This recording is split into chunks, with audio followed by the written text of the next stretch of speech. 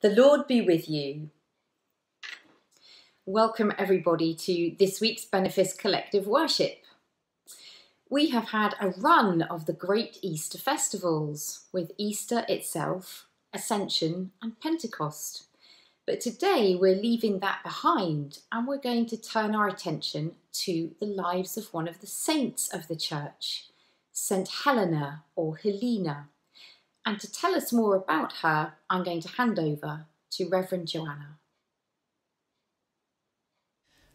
Hello. Today I'm going to tell you a bit about a lady called Saint Helena.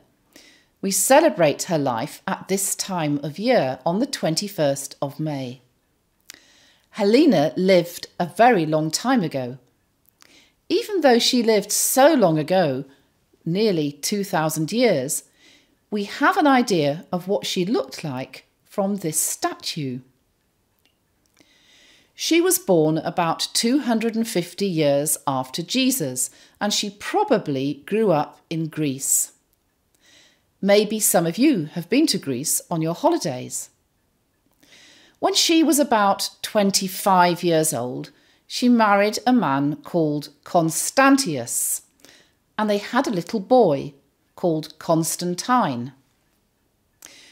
We know what Helena's husband looked like because there's a statue of him too. And the reason that he had a statue is that he became very important. He became Emperor of Rome. But sadly, as he got more important, he stopped being interested in Helena and Constantine and when Constantine was a teenager, his parents got a divorce. So Helena became a single mum and she brought Constantine up on her own. But some years later, Constantius died and Constantine became Emperor of Rome. Here he is. He loved his mum and he invited her to come and live with him in his palace at Rome. Now, around this time, Helena heard about Jesus and she decided to become a Christian.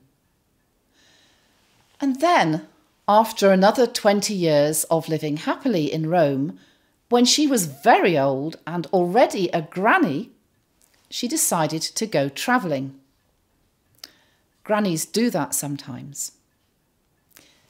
Helena had been thinking, and she realised that Jesus wasn't made up like in fairy stories. He was, he had been a real human being.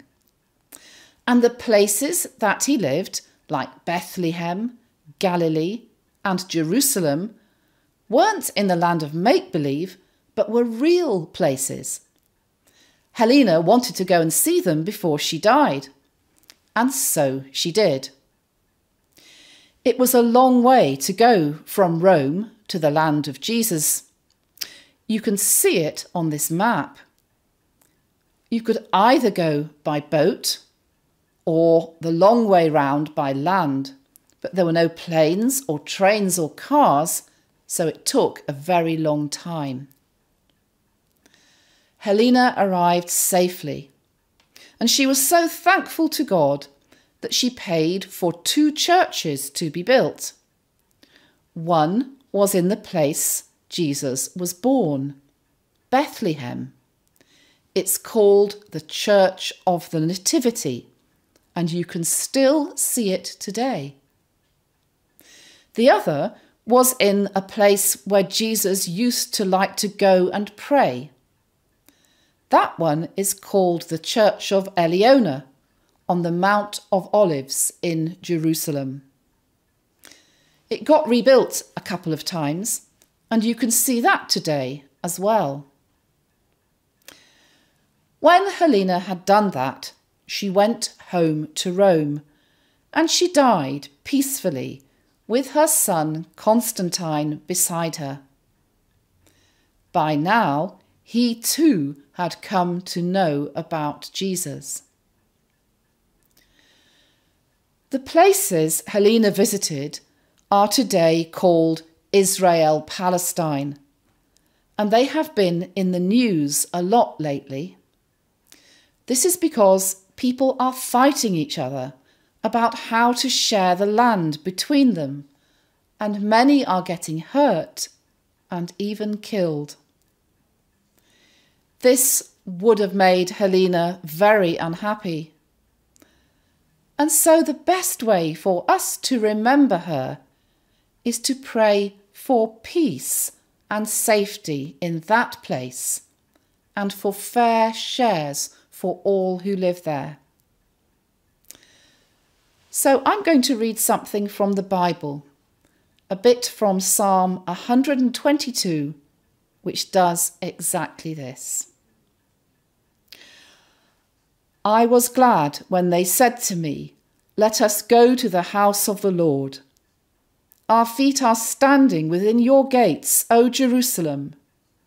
Jerusalem, built as a city that is bound firmly together. Pray for the peace of Jerusalem. May they prosper who love you.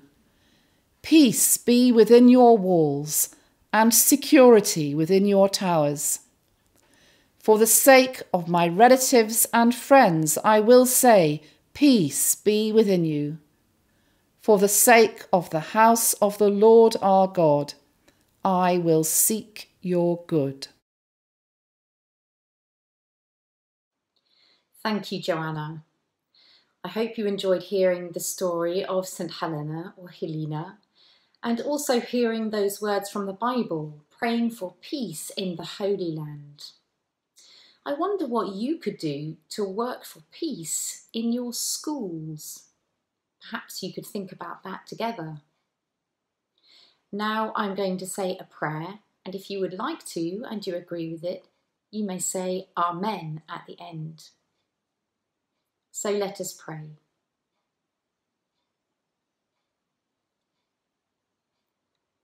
God of peace and love, thank you for the life of St. Helena. Thank you for her faith in you. We pray for all people who live in the Holy Land now.